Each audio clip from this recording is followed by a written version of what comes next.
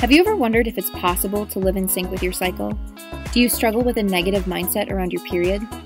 Are you wondering if it's possible to be feminist and anti birth control?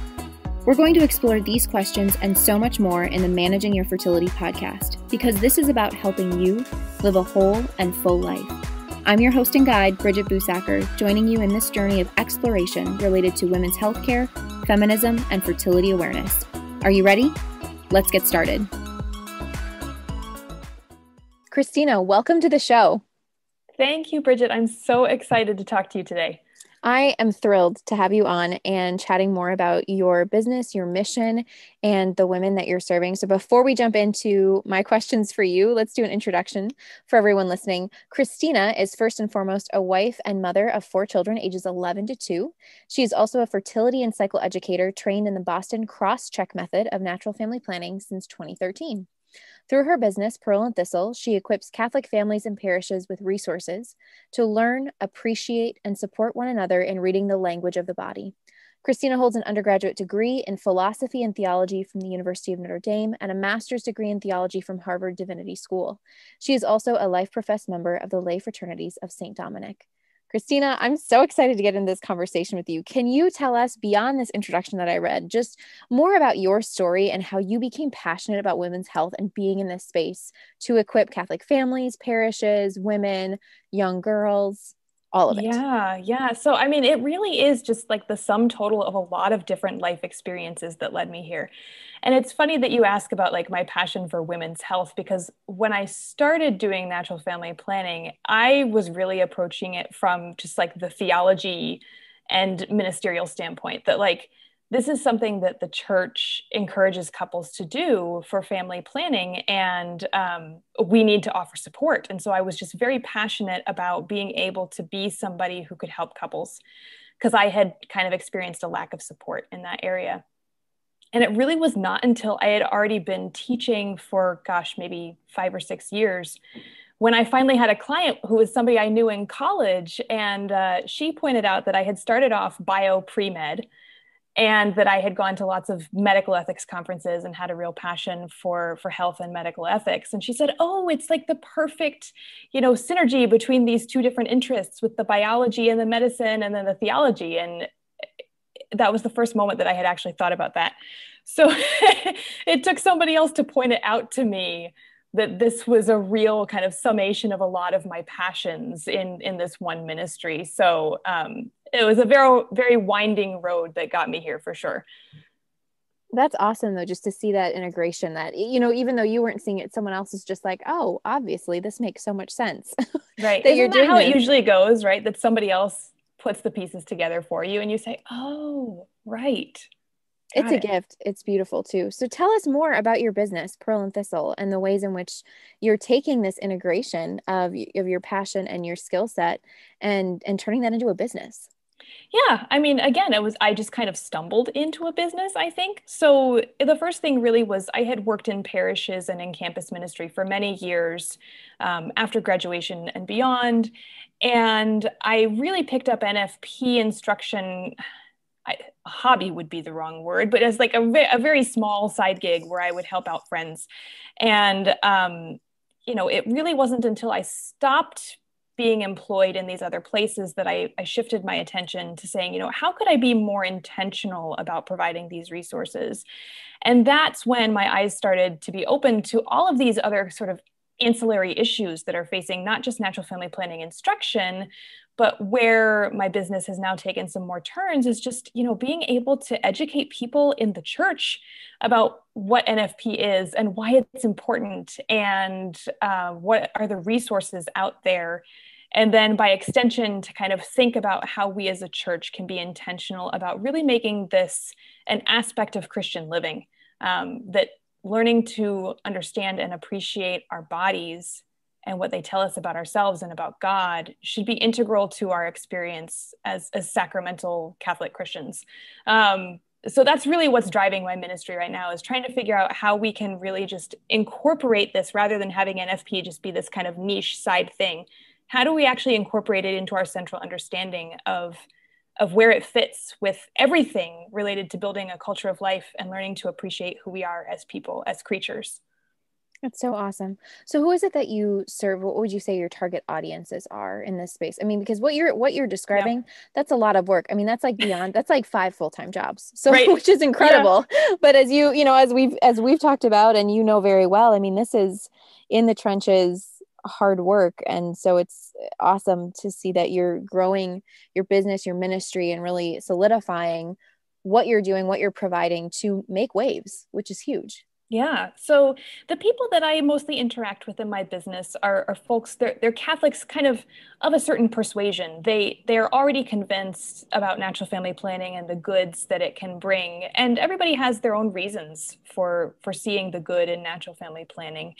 Um, and I really just want to make sure that they have access to to methods and to options that resonate with them, that they have good, wholesome options for educating their children in this language of the body and being able to serve their parishes. Um, so sometimes that means working directly with parish staff to try and just figure out what can we do for your parish with NFP. And sometimes um, it's also just working with lay people who are passionate about bringing this to their parish.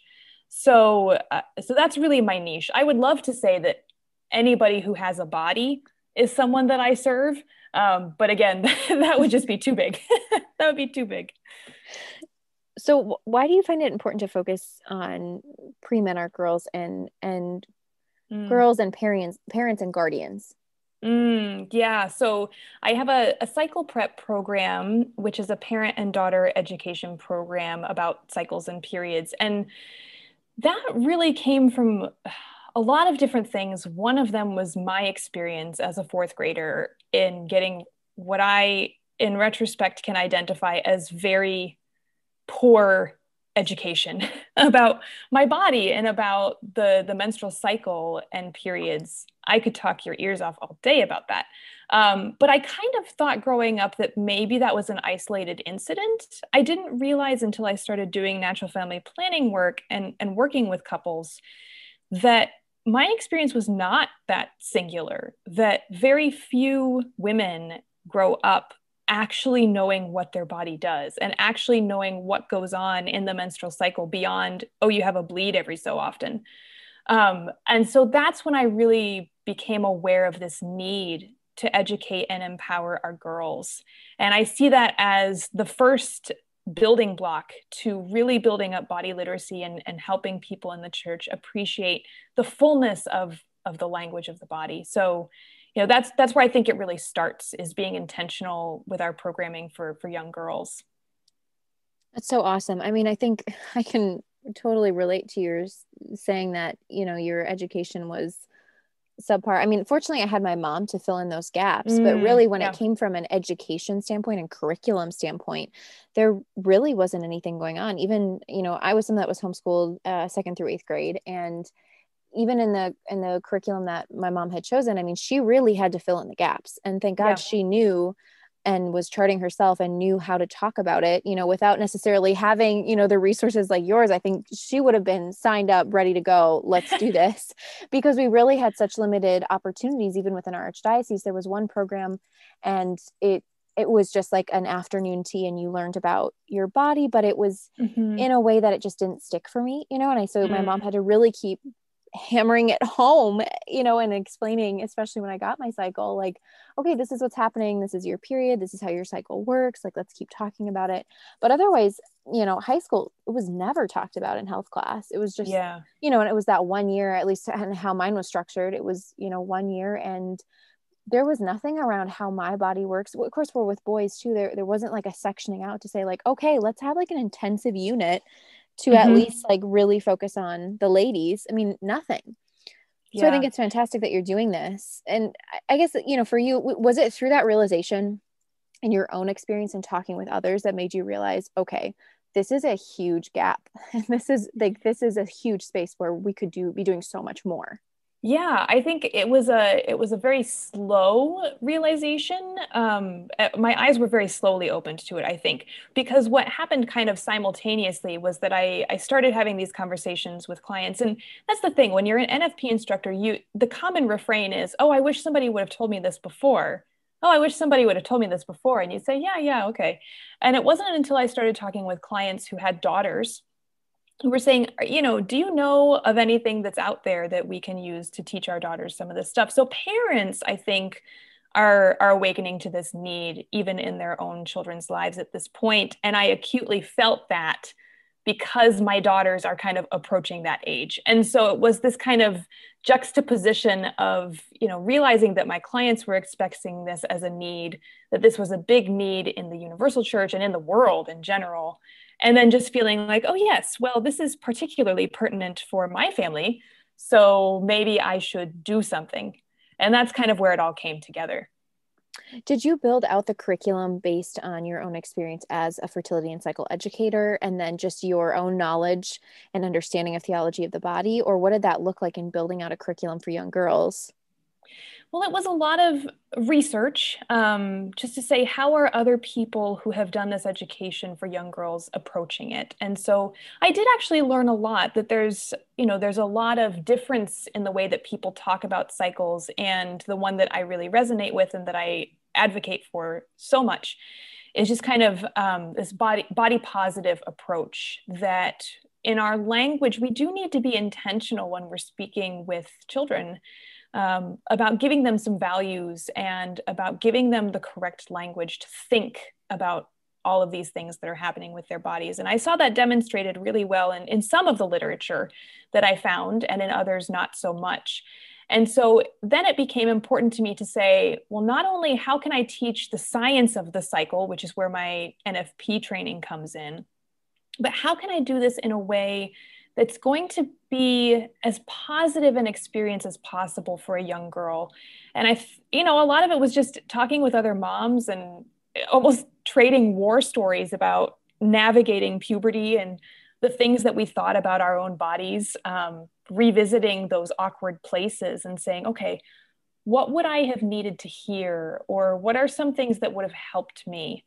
And so the curriculum was kind of built out with those those two things in mind. How do we make it scientifically accurate for my nfp training? And then how do we reach these girls to really change the script around you know how we speak and think about periods in general? Because i think that's the other big cultural piece that we really need to to dive into. I want to touch a little bit more on the second point that you made because with the i think more conversation and push around body positivity and not a bad push by any means but mm-hmm. just really trying to i think bring a light to saying okay how are we talking about our bodies as women you know we're so i think we're so used to acknowledging that we speak very negatively about ourselves but yes. there isn't we're not usually given the scripts and there isn't usually um, some type of action towards how do we change it you know it's like okay well just stop saying it it's like and fill it with what you know and so to start right. at a younger age especially around positivity around cycles and periods because so often you know culturally historically we're seeing that periods are gross periods are nasty this is very you know almost in a sense in some cultures it's it's un, unnatural it's weird and and so that mm-hmm. has just i think and you can speak so much more to this you know that has really seeped into our way of thinking and how does that really expand into other aspects of how we think about our bodies too by oh, attacking yeah. something so core to who we are Absolutely. Yeah, there's there's really toxic language that we use to to speak about our bodies and this would maybe take the conversation in a totally different trajectory but you know the message that we're also given by kind of modern medicine these days is really that you know our cycles our periods our ability to carry a pregnancy like all of these things actually just interfere with our happiness and we should control them. We should be able to discard them if we want to. Um, and, I, and i think there's a lot of harm done there when we start from the assumption that that being a female is somehow not normative. Um, yes you know we could we could just talk all day about this um, but even just the basic things about you know i was talking to one friend who said you know she grew up in a house and she had a brother and her mother taught her that you you always have to be very discreet with your feminine hygiene products and make sure that you hide them in the trash can because you don't want your brother seeing because he'll get uncomfortable mm. and these sorts of things you know i think mom was trying to look out for the interests of both children and manage family harmony and all of that. But at the same time, you know, we shouldn't be taught that we have to hide a natural process that our body is doing and a healthy natural process that our body is doing because it's going to gross somebody out. Um, there, there's so much baggage there that uh, we I can't even begin to unpack, and uh, so I think we can we can provide better alternatives to how we we think and speak to our girls about managing this very personal aspect of growing up. I really, I mean, I don't like it, but I do like the example that you gave because I'm sure, you know, this isn't an uncommon experience for a lot of women, you know, whether it's, you know, you're at school and even if you're, you know, using bathrooms with other girls, it's like, oh, I have my period, you know, especially around those times when you feel those changes happening and you're trying to figure out mm-hmm. is this normal or not? Is this something i talk about with my girlfriends or not? And you know you're trying to gauge what's appropriate to say what's not and in this space of exploration we need a grounding. We need a good foundation and understanding who we are as women and what makes us women and, that right. and that these aspects are are good. Um i'm i'm really fascinated. I just want to tap a little bit more into this as as far as education goes around respect of the body and talking about it because i think that example you gave of you know with brothers in the house you know when you mm-hmm. have mm-hmm. daughters and sons and just language around how you talk about the body because i often find in and i'm stereotyping a little bit but i i think there's some truth in this um, that in christian catholic circles we we can tend to go in the opposite direction and say we can't say um, words like cervical mucus or vagina or penis or things like that as a, mm. as a descriptor um, because that somehow we need to say like oh your private parts that down there we don't talk about it um, and on the you know and, and on the other yeah, extreme yeah. there are books that are published where it's like you need to be loud and proud about this language and kids talking about it all the time so then you have girls yeah. you know I, I had someone say to me once oh yeah my daughter asks you know at parties like who in the room has a vagina and i'm like that's ringing alarm bells to me because that's not appropriate to be bringing that up at mm-hmm. this time but it's also not bad that she anatomically knows her body but place and time like you know yes. how do how do we navigate yes. and and form young minds around body positivity correct mm-hmm. language but in a way that's reverent mm. Well, that's an interesting question. Um, what comes to mind? Gosh, I've never, I haven't articulated this, so let me give it a shot. What comes to mind when you're saying all this is, you know, a lot of debates around, let's just use the M word, modesty. Oh no. Um, and don't, yeah, don't get me started. But, but the thing is that, you know, modesty is, is situational and it is cultural. And so, you know, all we can do is we can we can train ourselves to be aware of what is kind of situationally and culturally appropriate. That's a part of becoming a mature, prudent adult, right? But at the basis, we always have to keep in mind that the reason we care about being modest is because we value something. You know, that, that we recognize that there's an inherent mm-hmm. dignity to the thing that we are talking about. And we don't, we're not modest because we're ashamed. And I think that that's a big key piece that's missing in so many discussions is like why why do we even bother about modesty in the first place? It's because of dignity. It's because there is something of immeasurable value that we care about preserving. And so when we talk about our body parts and when we talk about what's going on in our cycles i think there can definitely be some sort of like situational modesty that we can have. But in order to actually be prudent about you know when can we have these conversations? Where is it appropriate? What is appropriate to say? We first have to be firmly rooted in well what are we what are we valuing and what are we protecting here? What are we safeguarding? And if girls don't understand the inherent value of their bodies if they don't understand how beautiful and dignified their bodies are then I don't think they'll have a very good frame of reference for understanding what we're talking about here with this, you know, just um, kind of this the situational modesty of our language when it comes to these issues. Does that make sense? Uh, yeah, I really like that because it's it's challenging I mean, as a whole, it's challenging, you know, how we're thinking about modesty and, and is it coming from a place of shame? You know, are we not saying anatomically correct terms because of shame because mm-hmm. we really have and i think this is where it ties in with body positivity you know where we have a really negative viewpoint of our bodies or we feel that this is something that you know there's goodness in having in that protection like you said in that safeguarding but you know at the foundation at its core why are we safeguarding why are we protecting right. out of shame or because we see the worth and the value of our bodies and the importance of how we're made and and that protection comes from a place of reverencing and and honoring our dignity and not from a place of total shame and embarrassment right. of how we're made and and the body parts that we have right um, and i you know i mean I, like this is just skimming the surface of a really intense um i think at times it can be an intense topic or even de- place of debate but i think it's really good to start those conversations and i think you did a you know you, you answered it beautifully i'm i'm i'm loving it because i oh, think good.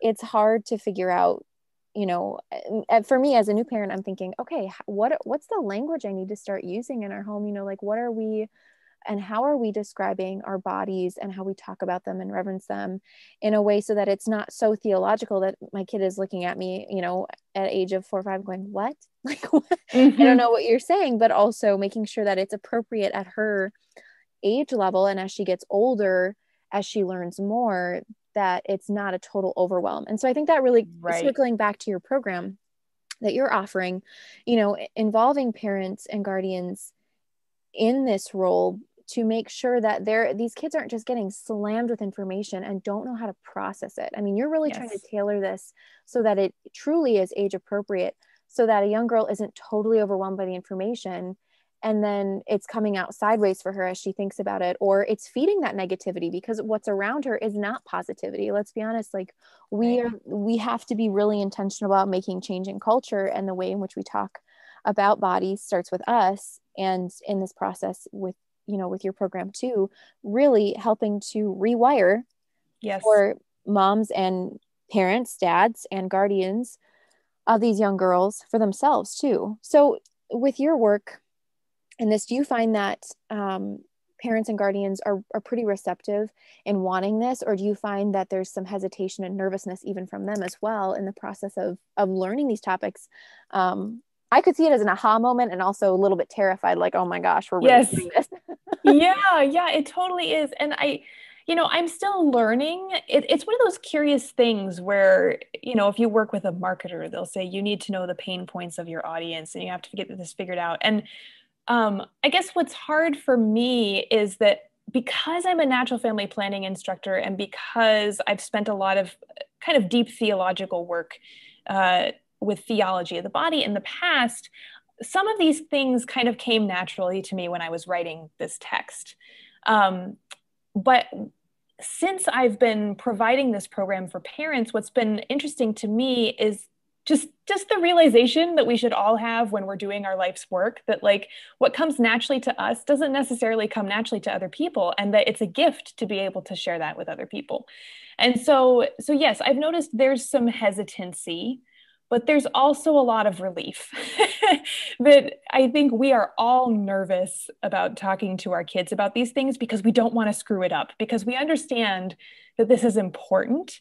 We understand that this is a crucial developmental moment. This is a sensitive learning period, however you want to say it. Um, and we really want to get it right. Um, and so I, I think I can see from parents that there's this initial hesitancy about like do i even want to begin talking about this? How do i begin talking about it? And and then kind of in this discovery of like oh there is a way to do it that will respect my values that will help me and my daughter continue these conversations later on. Um, you know I'm, I'm beginning to see the value myself in this and just what it can do for for parents who who are hesitant and nervous as we we all kind of are around this topic. Related to this, do you find any pushback or confusion from you know mm. individuals whether it's parents you know or churches or individuals who come across this program that they're you know thinking oh no this is not okay you know just again it comes mm-hmm. from that place of hesitancy or you know deep deep roots in shame or a more honestly like purity culture mindset um, do you find that there's that pushback and confusion or do you find for the most part people are pretty open to to this because you're having that parent guardian involvement? Gosh you know there is a little bit of pushback. Um, you know some people think that that we really should not be talking about these things before periods which i find curious um, that's some some criticism that I've gotten is why why are we pushing these conversations in elementary school when we should be waiting until our kids are old enough to understand? And I guess my response to that is, well, yeah, the science is complicated, but that just means that it's incumbent upon us to actually make the science understandable to an elementary school kid. Like, um, we shouldn't put the topic off. We should just adjust how we're presenting it to meet the needs of the child. Um, so there's that. There's also just an aspect of parents who are coming from the place of like they're the primary educators of their children and this is a sensitive topic and so they don't they don't want anybody else's voice involved in teaching their children. To which i would say absolutely that's great. If you are equipped to provide this education for your children by all means do it. Do it yourself and i love you for it. Um, but i think too often the problem there is that parents may kind of put their foot down and say, we're the primary educators. We're not going to let anybody else talk about this. And then they may not actually be equipped to provide substantial education on the topic. And so their daughters, you know, may not get what they actually need. So I don't know. There's there's pushback from different areas. Um, but isn't is Chesterton who basically says like if you get pushback from both sides, then that means you're in the middle and you're doing something right. um, so, so I'm just kind of clinging to that. That um, you know, there there is a niche for this, and there are plenty of parents, I think, who who just never had this for themselves and are looking for it for their daughters. And hopefully, I can provide that and help them feel more comfortable in the process.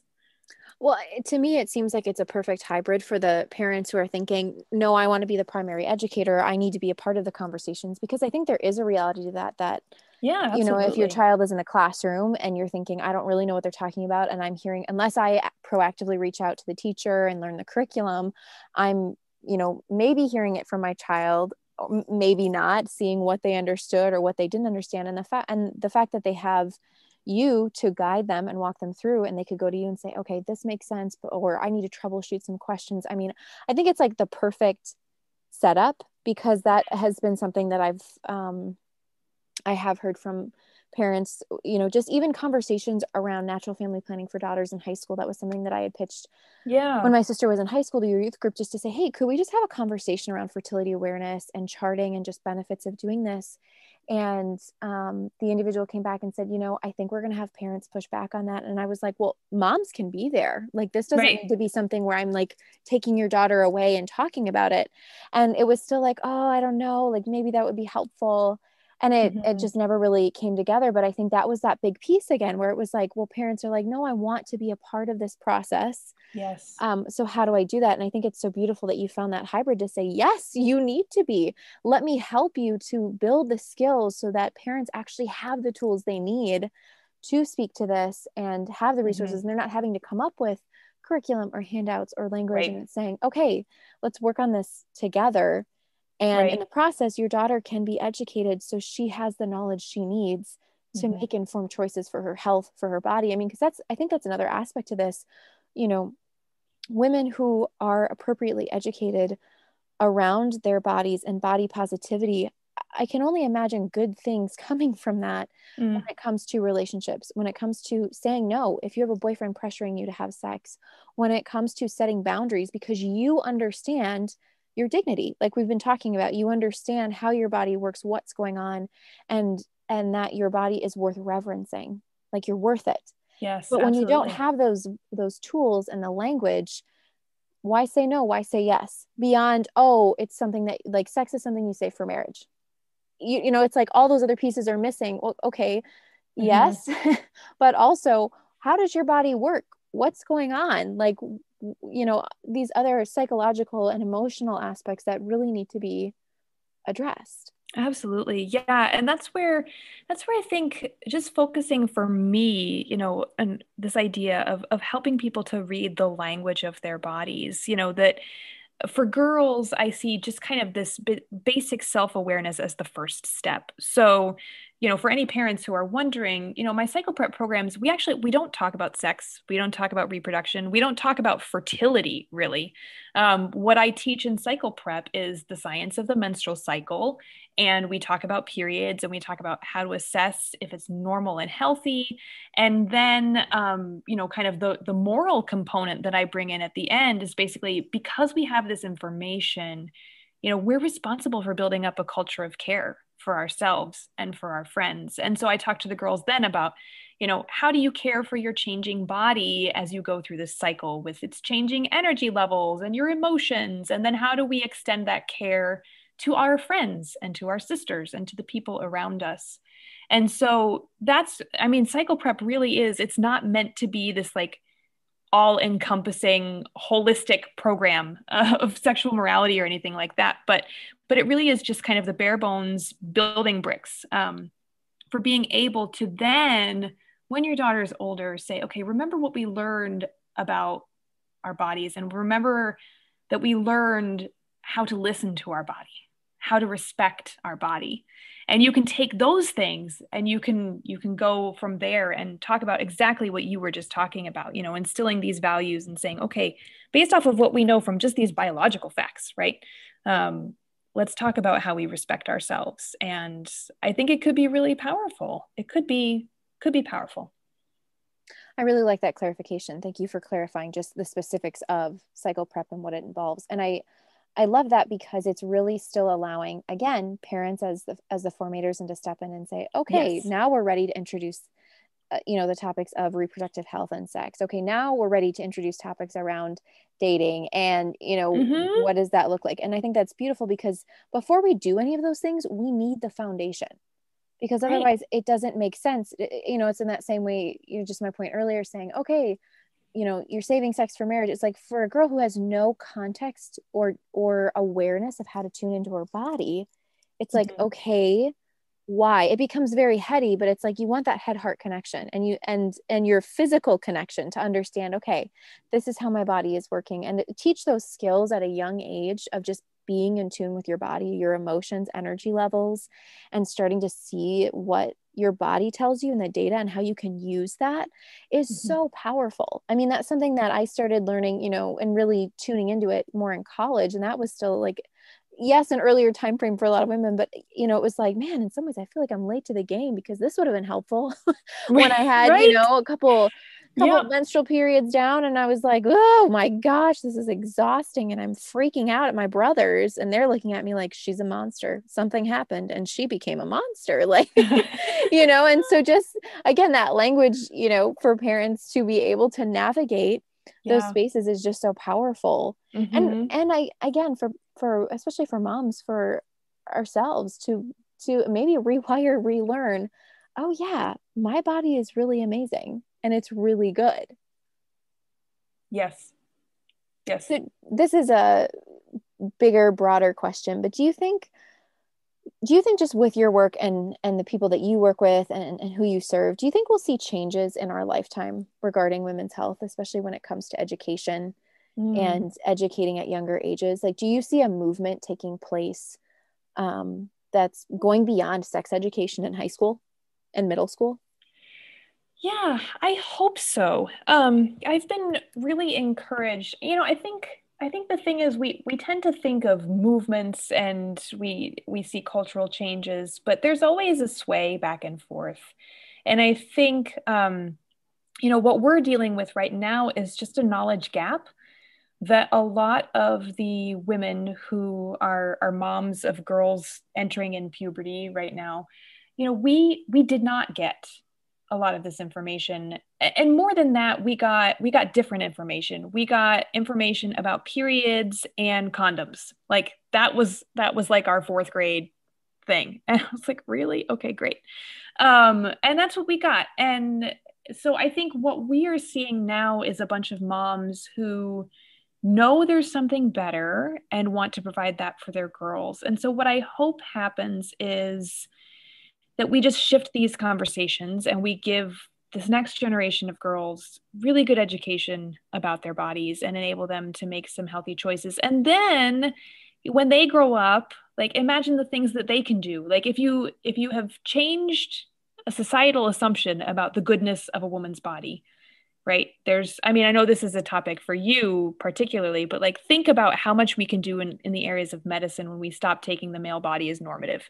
Think about how much we can do in in medicine and even just in you know serving one another in society when our our view has shifted. And i i hope that that's what happens. I tend to be an optimist there's a little bit of a pessimist rearing up in my gut right now. um, I could get on a soapbox and maybe talk about how society in general is lauding, like we're shifting period taboo conversations, uh, which I think is a good thing. But we're not even talking about the fact that the vast majority of women who are bleeding are not having periods. And that just boggles my mind. That, mm-hmm. like, women who are on hormonal contraceptives, which is the norm for, you know, uh, for menstruating women at this point, like aren't actually menstruating. Like they're they're just having hormonal bleeds, and we're lauding them as periods. And I'm like, but that's not correct. It's not a period. Yeah, I know. That education, like a, that gap yeah. is totally missing for women. Yeah, yeah, You're yeah. Totally so right. like, so yeah, like, okay, so let's let's celebrate the fact that like, okay, let's let's move conversations away from the taboo of bleeding, and then let's actually shift the conversation to be like okay it's it's okay to have a real period bleed. Let's work yeah. with that. That's a different topic. I'm sorry. No but it's great. I mean i think you're just pointing out that there are so many different areas that need to be addressed. And i just want to encourage someone listening if they're thinking oh what you're talking about especially around you know normalizing periods and period bleeds and they're thinking i want to talk about this. I'm boggled too. Do it. Talk yes. about it Yes. We need more people in the ranks, in the trenches. It cannot be up to five people. I want to be able to have so many people I can think of in this space that I don't have enough hands and toes and I don't know, other things that I could count with spoons, forks, utensils. Like I, right. I have so many people that I'm like, oh my gosh, it's amazing. There are so many in this space doing because there are just what you're addressing, so many different places that need need people to step up and serve mm-hmm. and to share mm-hmm truth about women's bodies and men's bodies and just really yes. clarifying what the heck is going on and how do we you know transition into this space instead of being reactive to proactive care proactive yes. knowledge proactive understanding of the body in a way that is all encompassing and, and so much more integrative and i think it's beautiful to see you know your your business is growing so much and just to see you have such great content and an email list. And so there's so many ways for individuals to get involved and connect with you. And i, I will be sure to absolutely share these things in the show notes.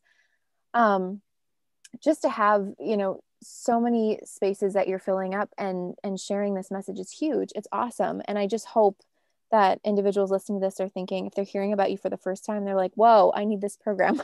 I'm going to sign up right now because i think it's just so important and critical for ways in which we can make changes in healthcare for women. It, it's starting in our families. It's starting yeah. in the home. It's yes. starting with our daughters. It's starting with our nieces. It's starting you know with our friends and saying hey you have little girls. You need to look at this and check this out. Like let's let's be proactive in our communities in our families and and realizing that it starts in these spaces where we can really make cultural difference Absolutely. Oh, thank you for saying that so much because, yes, I think just uh, my whole emphasis with the girls on building a culture of care and uh, just this idea that we we can make big cultural differences and even even thinking about the fact that you know um, my daughter has attended this cycle prep program with me.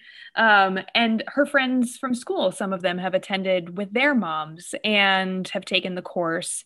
And now I know that, like, when my daughter starts her period, she has other girls in her class, in her school, who have received this commission to help care for her. So like as a mom, I also see this as an investment into like taking taking care of my daughter when she steps outside of the home that by surrounding her with other girls who have received the same education and the same commission and feel the same sense of responsibility and mutual care for one another, that I've created a tiny little culture of care for my daughter.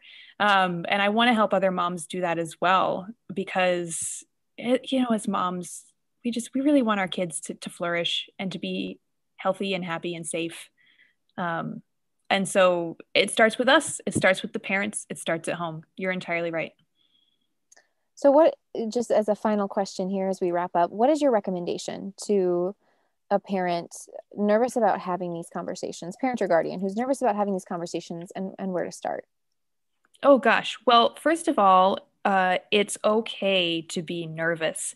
I think what's been kind of fun to see when I do information sessions and things for people is that they always people always apologize for being nervous. Oh my gosh, I'm so nervous about this. I'm you know, and I'm like that means you are a normal parent. Um, so if you're feeling nervous about that, just own it uh, because it's a nerve wracking time. Like the teenage years nobody wants to go through them um, so that's that's fine so lean into that um, and then i would say you know just just start checking out some options cycle prep is my personal favorite. Um, but there are plenty of other options online for, for courses that you can look into. Find something that resonates with your values as a parent. I think that's really important that you find an educational program. If you're going to be sitting there and doing it with your daughter, make sure it's something that, that you like and that you feel comfortable with, um, because then you'll be able to carry that shared experience to future conversations. Um, and I guess that would be the second piece of advice is don't put pressure on yourself to have all the conversations all at once. I think we kind of steel ourselves sometimes for saying, okay, we're going to have the talk and we're going to talk about periods and we're going to talk about babies and we're going to talk about sex and we're going to talk about all these things all at once and our poor kids their eyes are going to glaze over and it's it's not going to go all that well but if we take it in bite-sized chunks if we take our children's lead and really listen to the questions that they're asking. Pay attention to the body changes that they're currently going through and answer those questions as they come, then I think it will be easier for us to navigate because we don't put the pressure all on one conversation, on one program, on you know one thing they heard at school. Um, the expectation is it's a lifelong conversation, and I think that is a lot easier to handle because lifelong conversations are built on relationships and your relationship with your child is the most important thing. So just nourish that. That's so great, Christina. Thank you so much for being on today, for sharing your wisdom with us and expertise in this space and your why behind the work that you're doing. I think this is just so great, so important, and will really shed light to, you know, your business and and helping women to understand the why for being more proactive when it comes to women's health, especially when it comes to young girls and their need for education at younger ages, and how to do that in a way that really upholds and supports the dignity and worth of every woman. So, thank you so much for all the work that you're doing and for taking the time to be with me today. This has been great. Oh my gosh, thank you. Thank you for elevating all these different voices and bringing these conversations to the forefront because that's it's really where it starts is just you know we start by thinking about these things and talking about these things and then we can do these things. So so thank you. Absolutely. Well thank you so much. And for all those listening i will be sure to link christina's work and and what we've discussed today in the show notes so you can check that out and definitely share with your friends and family who need this who have daughters and you're thinking oh I know somebody who could use this. Great, send it to them right now. Again, Christina, thank you so much for being on today. Thank you, Bridget, so much. Thank you so much for listening. Please subscribe, share with your friends, and help expand the conversation around women's health. If you'd like to learn more about fertility awareness, visit www.managingyourfertility.com for more information, resources, guides, and so much more.